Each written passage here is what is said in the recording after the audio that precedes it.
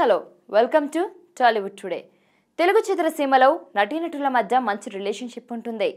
Star హీరోలు కూడా ఇతర నటీనటులతో అత్యంత సన్నిహితంగా ఉంటూ మంచి బాండింగ్తో ఉంటారు.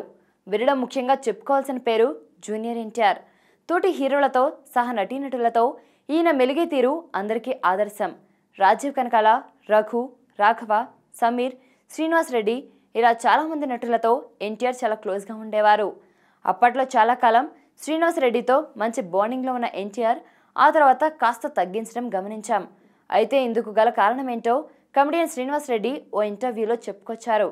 తనకి ఎన్టీఆర్కి మధ్య కాస్త గ్యాప్ వచ్చిన మాట నిజమేనని శ్రీనివాస్ రెడ్డి పేర్కొన్నారు. అయితే అందుకు చాలా కారణాలు ఉన్నాయని తెలిపారు.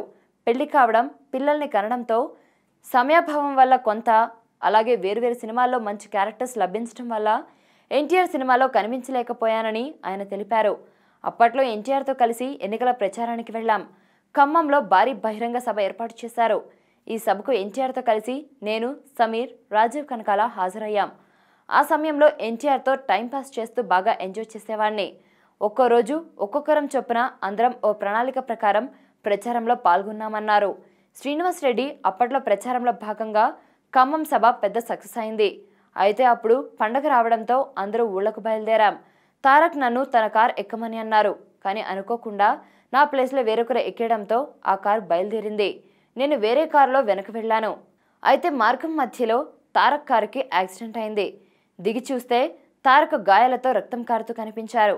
వెంటనే తారక్ గాయాలకు నా దగ్గర ఉన్న టవల్ చుట్టి నేను ఉన్న కారులో ఎక్కించుకొని హాస్పిటల్ తీసుకెళ్ళామని చెప్పారు శ్రీనివాస్ రెడ్డి అయితే ఆ సందర్భంలో ఓ వ్యక్తి నా దగ్గరకు వచ్చి నీ లెగ్ పడింది తారక్ కారు యాక్సిడెంట్ ప్రమాదానికి గురైందని అన్నాడు. పరోక్షంగా ఈ ప్రమాదానికి నువ్వే కారణం అన్నట్లుగా మాట్లాడాడు. దీంతో నాకు విపరీతమైన కోపం వచ్చింది. వెంటనే నేను రక్షించడం వల్లే తారక్ ప్రాణాలతో బయటపడ్డాడు అనేశాను. దీన్నే తారక్తో తప్పుగా చెప్పేసినట్లున్నారు. అందుకే తారక్ సినిమాల్లో అవకాశం రాలేదని భావిస్తున్నానని శ్రీనివాస్ రెడ్డి అన్నారు.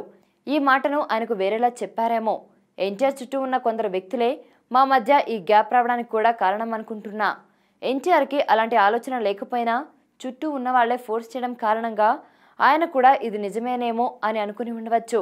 అందువల్లే నన్ను కట్ చేసి ఉండొచ్చు అని శ్రీనివాస్ రెడ్డి చెప్పారు.